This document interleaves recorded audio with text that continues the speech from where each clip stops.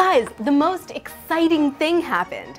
I got the opportunity to interview a penguin and a penguin expert at the Library of Congress.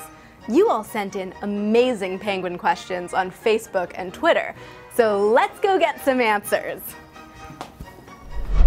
I met our interviewees at the library's Young Readers Center on World Penguin Day. Ron Naveen is the president of Oceanites. He's been traveling to Antarctica for over 20 years to study how climate change affects penguins. And Lilly is an African penguin from the Maryland Zoo.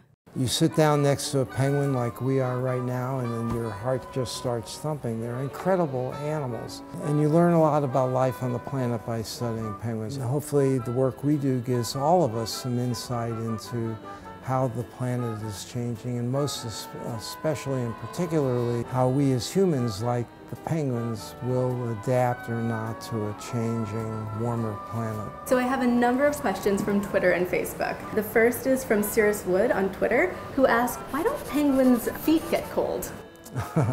they have veins and arteries running through their feet and allows them to regulate their body temperatures. The Antarctic penguins I work with are so densely feathered that there's a fear, a worry that they may get overheated. You get a warm weather day, which means like 35, 40, 45 with sun. The birds are literally panting for breath.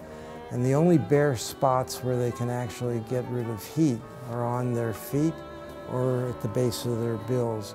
They also can extend their wings and let some air get underneath their flippers. Lindsay Patterson on Facebook asked, why can't we keep penguins as pets? No, first of all, it's highly illegal.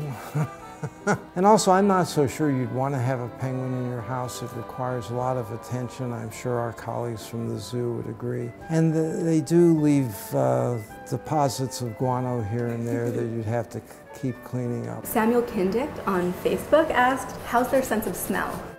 Their sense of smell is pretty good, best I can tell. And my sense of smell of them is excellent, I can, I can assure you. Tom Phillips on Twitter said he wanted to know more about penguin knees. so well, I know that penguins have knees tucked way up into their body. That is correct, which is why they waddle around a lot. So. But for a migratory bird, why are their knees so far up? Looking at Lilly right here, you see in a certain respect what looks like a torpedo, an animal that's shaped in a way that's very aerodynamic in terms of swimming. The arrangement they have, where the knees are, the way the body is shaped, the way the flippers are positioned, are to enhance this bird's, these species' abilities to hunt in the water. Catherine Ellen Foley on Twitter asked, um, what are the different noises that penguins make? Um, and we actually have Lilly's handler, Amy Eveleth here, who is going to flirt a little bit with Lilly. very cute penguin. so what sort of sound was this? This is, um, they're also called jackass penguins, so they sound like donkeys, and that is a flirting sound. Um, and so that's how she kind of flirts and makes it known to other penguins that she's not being aggressive, she's just kind of arriving at the party. Would you like to make some noise? No, not yet. but right. we're getting to know each other a little better. Yeah, you gotta you gotta warm up. Take gotta her to dinner up. first.